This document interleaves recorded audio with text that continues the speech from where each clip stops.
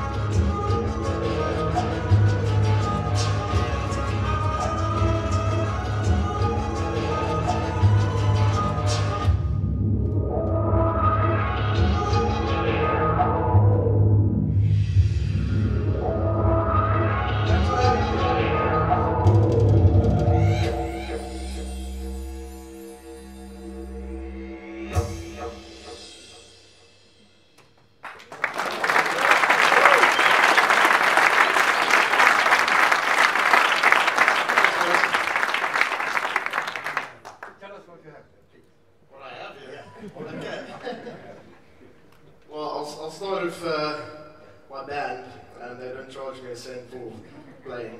That's the loop station. That's where all the sounds goes goes in. And uh, basically, what I do, I tap the pedal, I play something, and it plays back. Well, just like I tap it, it plays, records, and I tap it again, and it's gonna repeat. I tap it, it plays, records, and tap it again, and it's overdub, overdub, tap it, it plays, records, and I tap it again, it's overdub, overdub. That just sounds crazy. anyway, yeah, that's the Boss RC300. It's the big, big one of all the loop stations. It's got three stereo tracks, it's got built-in effects, um, and this is the Boss GT100, which is where I manipulate all my effects, my guitar, cello, didgeridoos, everything goes from there into the loop station. And uh, yeah, this is my drum pad. It's called, this is my Chinese drummer. I, uh, it's, like, it's always on, on form. And uh, yeah, it's basically finger drumming, and you can uh, you just play.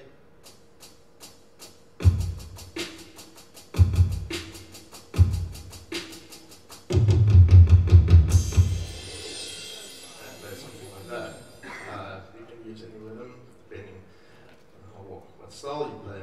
And then, uh, yeah, these are the didgeridoos I make. I actually make them out of PVC, so they have a bit more tone, bit uh, a sharper response, so it's better for electric purposes. So then, uh, yeah, basically you use circular breathing. That's where you do a continuous form of breathing through your nose, and well, it's basically in from your nose and out your mouth. And then um, it sounds basically like this. Oh, yeah, and this is also going through a fixed pedal, so that's why I get all the reverb.